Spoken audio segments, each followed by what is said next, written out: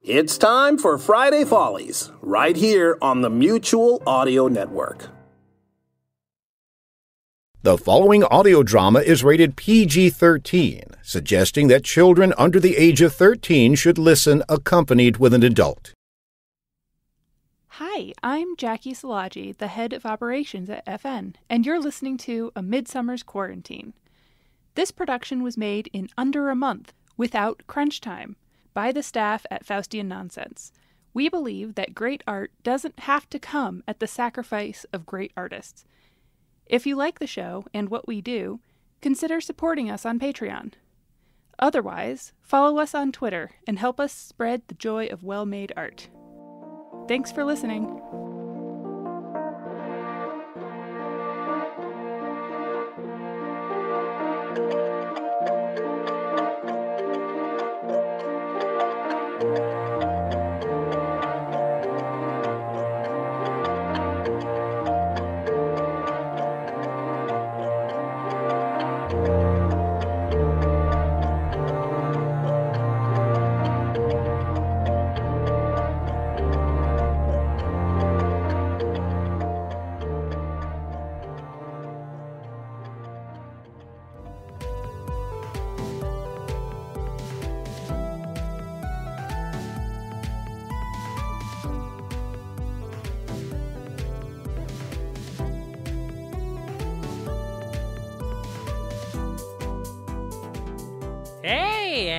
Basketers, hand basketeers.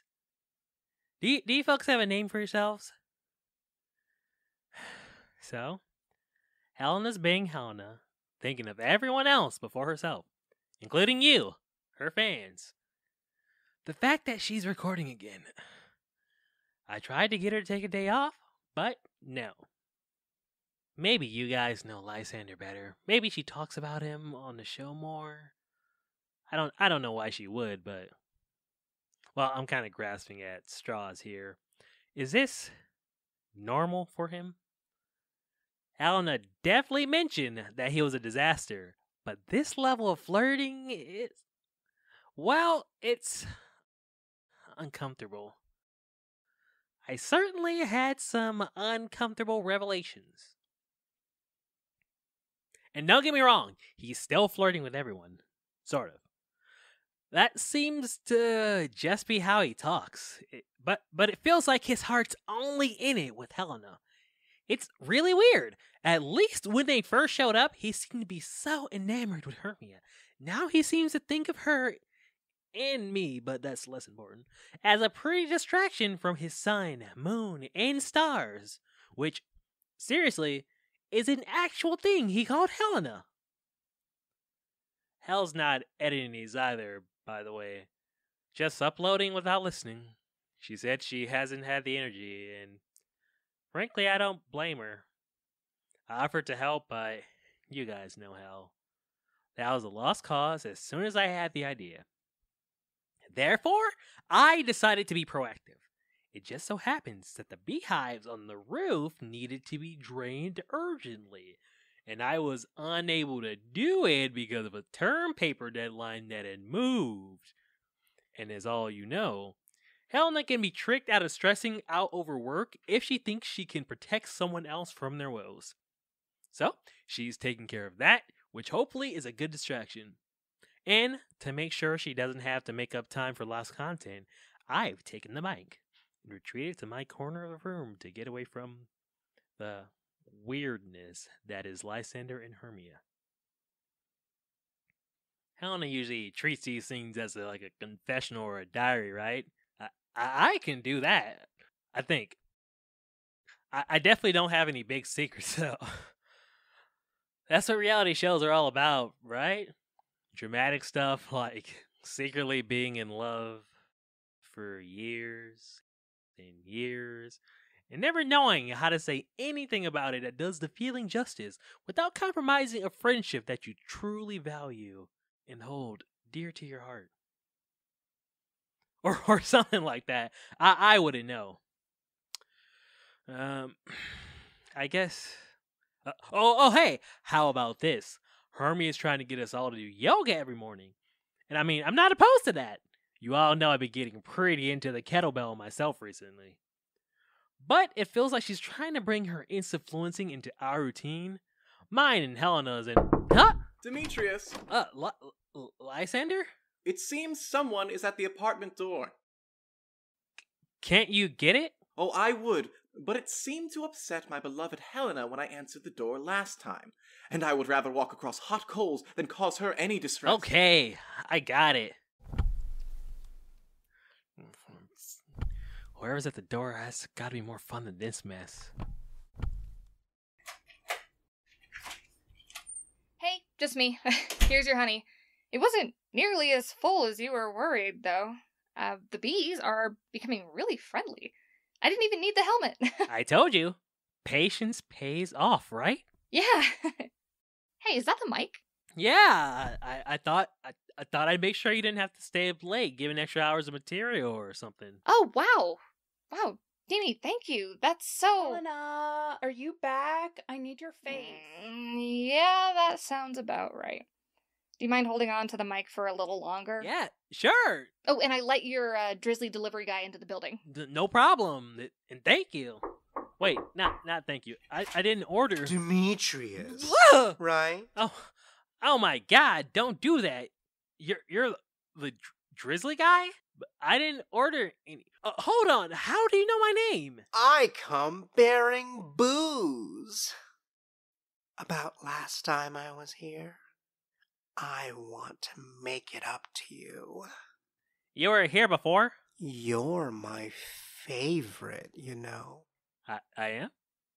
Your your favorite what? You've always been my favorite, and I wanted to make it up to you. Make make make what up to me? I, I'm sorry. Who are you? I'm a basket case. Oh, oh, Helena and a hint.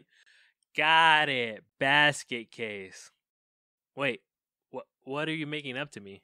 I've been listening. Uh, I mean, it's not like it's your fault. Nothing is ever my fault. What? Yeah, that's what I said. Anyway, I brought this for you. Oatmeal stout, right? Your favorite? How did you? I listened to the show. I haven't really talked about my alcohol preferences on air, have I? Of course. Why wouldn't you? So this is for you on me. You brought me free booze? Free as a bird. Um, give it to me. Anything for my favorite. Ah, thanks, man. I owe you one. Enjoy. Demi, settle something for us.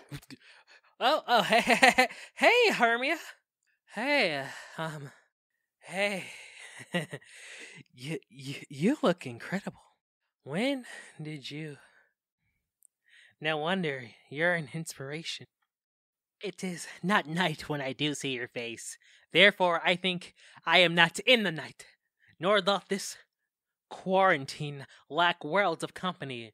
For you, in my respect, are all the world. Then how can it be said I am alone when all the world is here to look on me? Pause.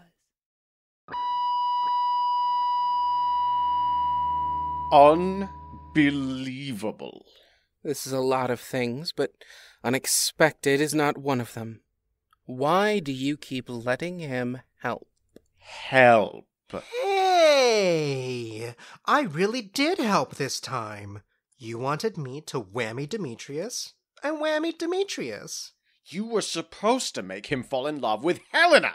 Isn't he already in love with Helena? Stop pretending you don't know what I mean. You were supposed to help them get together. I don't recall you specifying that. You of all people should know that the Fae follow the letter of the request, not the spirit. Aren't you our king, technically? You have not followed the letter of my request. I said I wanted Helena to be happy. She's been upset all day. You requested that Demetrius got a love potion. You hoped that Demetrius getting a love potion would make Helena happy. I'm not responsible for the fact that it made her miserable. She has been miserable, which has been a lot of food. A lot of bad food. Oh, come on. This might be good. This is exactly what Helena wanted. Demetrius is in love with Hermia. This should be making her happy. But it's not. Right now, she's probably holed up in her room, wondering why that is. The drama, the heartache, the realizations on the horizon. Mm, it's immaculate. It's straight out of Friends. Friends is a bad show! I'm not spending this whole quarantine feeding off of Friends. Nobody likes a picky eater. You stop that! You're mad at Puck too. What? No, she's not. No, I am. All right, worth a shot. I'm mad at Puck for being a little shit. But come on. How old are you complaining about your food? I see. Yesterday I'm too old, and now I'm a baby. You said it, not me. All I'm saying is that you've been around for millennia. Surely you can afford to expand your palate a little. I've already tried everything I needed to try. My palate is fine. Look, I'll fix it, okay? You just need to be specific with what you want, and I'll get it done. I want. Oh, hold on. We're not even at the end of the episode yet. What do you think this is going to resolve itself in the next uh, 26 minutes? I think that mortals are delicate, and their emotions are complicated, and you should gather all the information before you send Puck hammering about like the blunt instrument he is. Fine.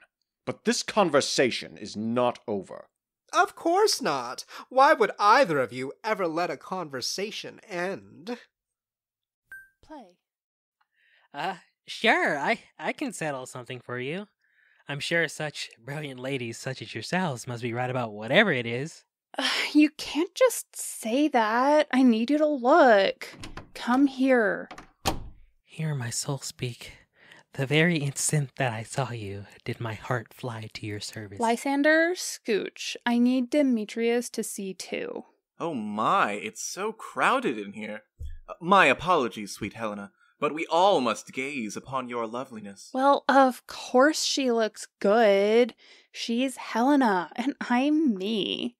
Her immaculate bone structure and my artistic genius is an unstoppable combo. What am I settling? Whether this is the right makeup for me. So, Demetrius, this is a test set from my newest sponsor. And Helly here doesn't see her own gorgeousness. Helena, if I could write the beauty of your eyes, and in fresh numbers number all your graces, the age to come would say, This poet lies, such heavenly touches ne'er touched earthly faces. You always, you always say that. I mean, well, not that like exactly, but um. Do I? I can't recall. And I'm, I'm not, I'm not saying I look bad. I just don't think this is my color. That's because we need to change your hair. What? Oh, Demetrius, don't you agree? She needs more color. Oh, I have ideas. I would trust your eyes to choose a new color to repaint the skies, Hermia. Picking hair dye must be trivial for you. No, I like my hair as it is. Aw, come on, Hell. I need to try something new. My followers want to see my work on other people. I told you you can do my makeup. And I want to do more. Is there anything I can help with? If I could be assistance to any of you three, I would count it as the highest honor of my life. My bounty is boundless as to sea. My love is deep. The more I give to thee, the more I have, for both are infants. Yes. Oh, Demetrius, bad idea. Why is that? Oh, you would look so good with their green. Hermia, Demetrius does not want green lipstick. Um, it is like a really tasteful shade. Demi, save yourself. You wish for me to model for you? OMG. Demi, it is only a slight exaggeration to say that my entire career as an influencer depends on it. I can't pretend to understand why you choose me over the radiance of Helena and the tidal wave of passion that carries Lysander, but I will quiet myself before I talk you out of it. I could not be more pleased to be your knight in shining. Green lipstick. Shining green lipstick. Demetrius, are you trying to impress me? I'll never tell. Love sought is good, but giving unsought is better. what a poet you are! Be careful, there is really ever only enough room for one lover boy, and I do hope I'm right in saying I have that space Ugh. occupied. I mean, this is good. Demetrius and Hermia, this is this is good, right? right, Helena. I, Demetrius, are you sure? I mean, it's great that you want to help Hermia. Are you worried about me? Touched as I am, my lips, two blushing pilgrims, ready. Oh, steamed. Helena! My love, you care so much about everyone. That's true beauty, you know? Herms, it's gonna be tough fitting that in a makeup kit. Oh, is that what you're doing? I can play that game. Demetrius, it's true, you know. Those eyelashes of yours are just irresistible. Lysander wishes he had eyelashes like that. He tells me so literally every week. And your bone structure. I think it's great that you two are getting to know each other and each other's um eyelashes. Right, Lysander? Aren't they cute? Anything you say, my sweet. Oh, stop that! Stop what? My sweet. What would you prefer? Schnookerpuss? That's worse. My baked Alaska flambe? You know what? Sure. Um, you know what? I am always all about the love, but I think I need some space if I'm going to create my masterpiece. Are you kicking us out? Hermia, you know I'm not trying to. Ah, I think I'm distracting the model. no, one is distracted, is Sandy. distracted, That Sandy. you are. Come, my perfectly light meringue, let us leave this place and gaze into one another's souls. In the living room. That sounds horrible. I don't want to do that. Light meringue. Lysander, you're, uh, really creative. But are you so much in love as your rhymes speak? Neither rhyme nor reason can express how much. Oh, look at Demetrius. What a poet. I think you've been ousted, Sandy. Get out. Hermia, are you okay? I'm living my truth and creating my bliss. And I'm trying to concentrate here, so I don't need to listen to my boyfriend continually ignore me for my BFF. How now, my love? Why is your cheek so pale? How chance the roses there do fade so fast? Belike for want of rain, which I could well beteem them from the tempest of my eyes. Ay me, for aught that I could ever read, could ever hear by tale or history, the course of true love never did run But smooth. with you, Demetrius, we could have a real love story. If then true lovers have been ever crossed, it stands as an edict in destiny. Hmm. Ah, Beautiful. But they cannot hold a candle to you, Helena. Come, my lovely tiramisu. Demetrius, hand me the mic. Stay gentle, Helena. Hear my excuse. My love, my life, my soul, fair Helena. Listeners, I'm, I'm gonna stop recording. I don't want spoilers for Hermia's upcoming makeup posts. that's that's definitely the only reason. Until then, um, thanks for listening and stay safe, everyone.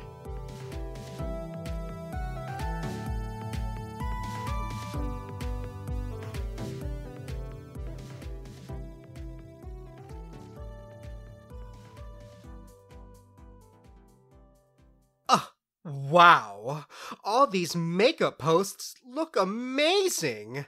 I had no idea everyone involved in this drama was so hot. That green lipstick is a bold choice for Demetrius. But I think it works. I assume Helena's a bit colorful for your tastes? Yeah, she's very pop princess. But it's clearly high quality stuff. What's the sponsor's name again? Let me check.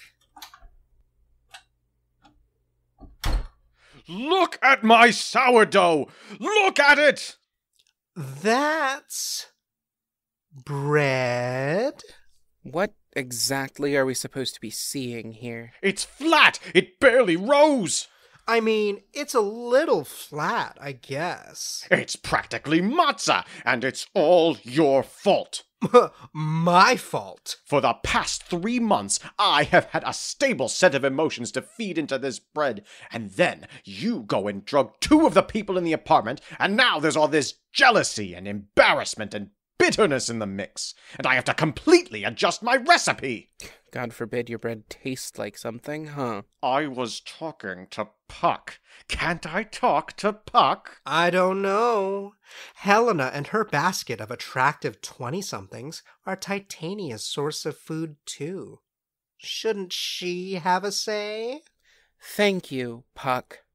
I, for one, am enjoying having some actual flavor in my life. You're not even eating the bread. Why would I? It's flat. Just, I. You know what your problem is, dear?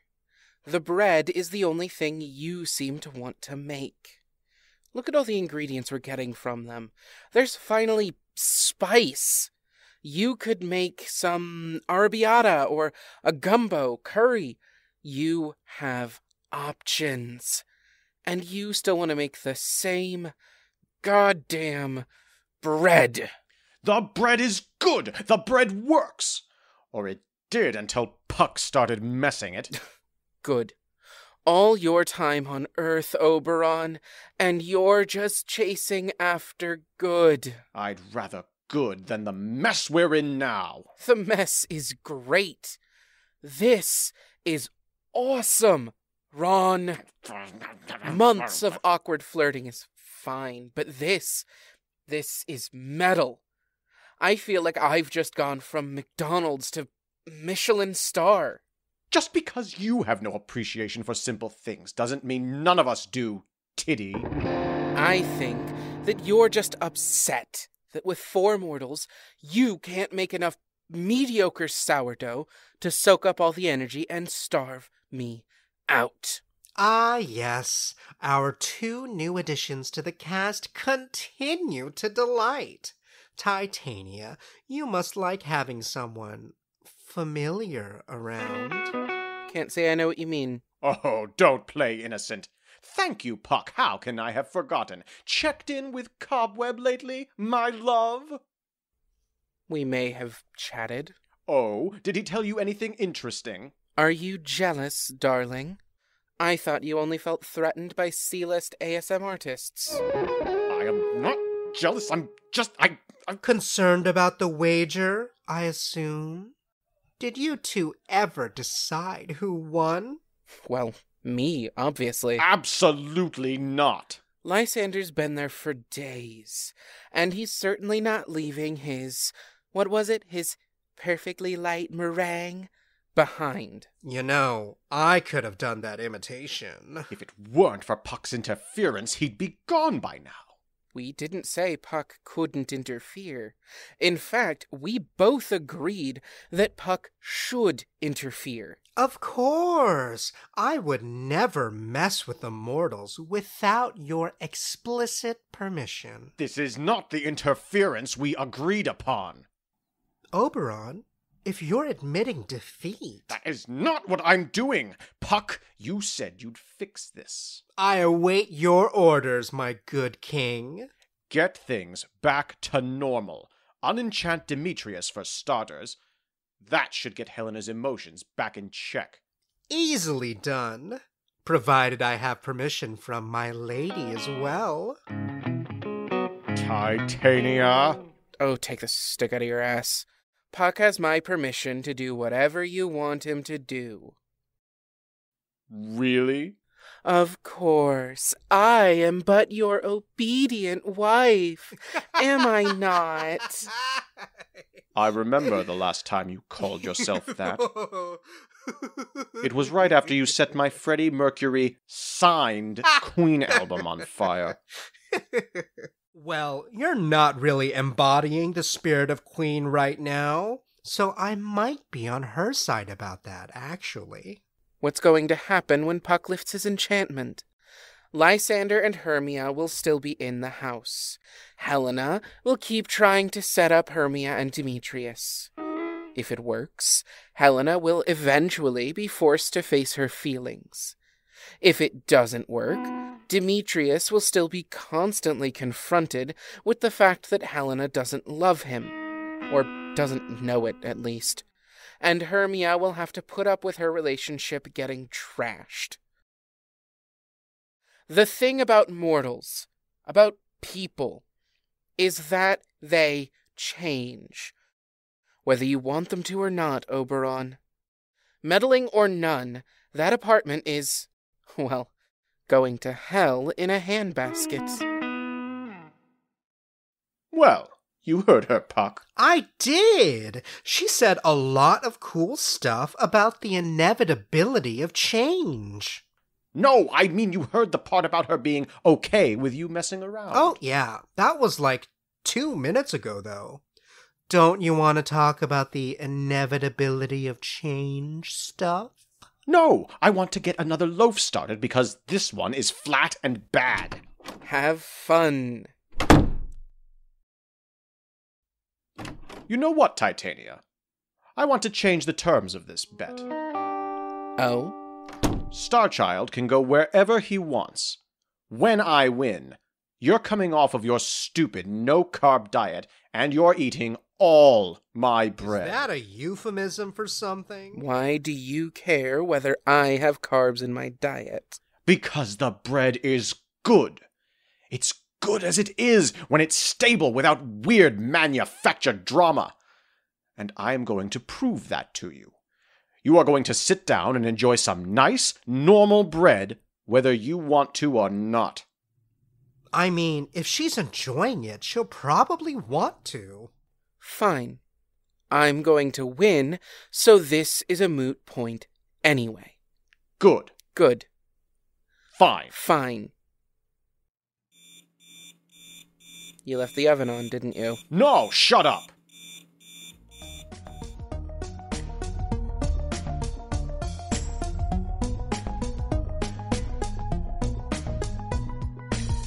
This program was brought to you by a network of dedicated artists with creative souls just like just like yours, yours, yours, yours. Faustian Nonsense thanks you for your patronage. Just like yours.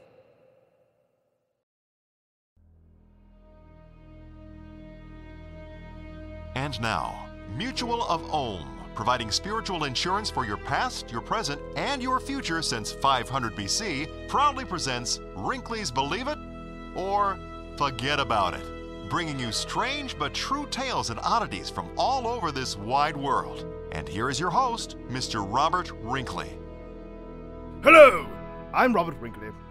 And lastly, here is the story of Johnny Warden of Halifax, Nova Scotia, who, as second mate of the cargo ship SS Mont Blanc, miraculously survived the explosion of that vessel on December 6, 1917, and the subsequent destruction of the Richmond district of Halifax, and the deaths of more than 2,000 Haligonians, by the simple miracle of having been in the bed of a prostitute in neighboring Fort Sackville at the time.